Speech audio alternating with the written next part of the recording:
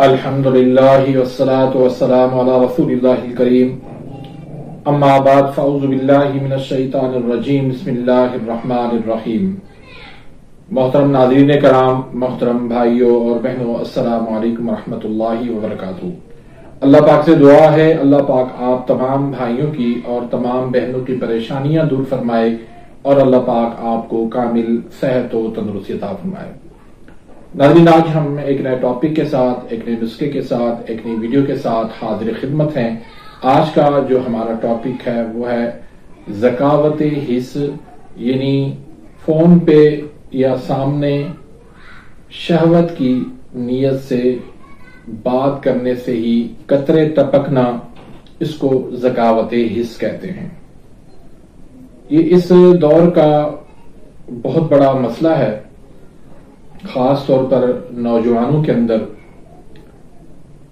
आए दिन हर कोई ये शिकायत लेकर आता है कि मैं मंगेतर से फ़ोन पे बात करता हूँ या अपनी बीवी से फ़ोन पे बात करता हूँ या किसी भी लड़की से बात करने पर, मेरे साथ मामला ये होता है कि कतरे टपकना शुरू हो जाते हैं। इसको बहुत सारे हुकुमा गर्मी समझ के इसका इलाज करते हैं, जो उस मरीज़ के लिए वबाल जान बन जाता है। उसको नामर्द बना देते हैं। एक तो उसके अंदर पहले ही कमज़ोरी वाक़ हो चुकी होती है, फिर मजीद उनको ठंडी अद्वियात दे देकर उसका मरीज़ का बेड़ा गर्क कर देते हैं। आए दिन ऐसे मरीज़ मेरे पास आ रहे हैं, जो कहते हैं कि हमने हकीम से दवाई ली तो हमारे गुर्दे फैल हो गए, हमारी कमर खत्म हो गई, हम चल फिर नहीं सकते, हम चारपाई पर पड़े रहते हैं, वो ताकत, वो कुव्वत जो है, वो जवानी, वो हमारी खत्म हो चुकी है। तो भाई ऐसा काम ना करें मर्द के अंदर एक हरारत होती है, एक गर्मी होती है एक कुव्वत होती है, वही मर्दानगी बनती है, वही जवानी बनती है।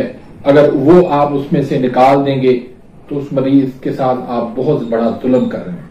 तो ये जो मर्ज है, कतरों का आना, कतरे टपकना, ये तेजाबियत की वजह से होता है, सौदा की, ज्यादती की वजह से होता है, तुर्शी एसिड की ज्यादती की वजह से होता है। फिर उस वजह से फिर एंजाइटी हो जाती है डिप्रेशन हो जाता है, तबखीर मैदा हो जाता है, बहुत सारे मसाइल उससे जन्म लेते हैं। तो जिसम के अंदर हरारत पैदा करें कुत पैदा करें, ताकि उससे जो है, वो उसकी तुर्शी तेजाबियत जो है, वो एसिड सौदा जो है, उसका खत्म हो जाए, जिसम के अंदर हरारत गरीजा बढ़ जाए इम्यून सिस्टम उसका मज़बूत करे, ना कि कमज़ोर करे। इम्यून सिस्टम उसका मज़बूत होगा, हरारत गरीजा उसकी बढ़ेगी तो इंशाल्लाह कतरे आना बंद हो जाएँगे और वो अपनी एक अच्छी लाइफ गुजार सकेंगे। तो रहम करें ऐसे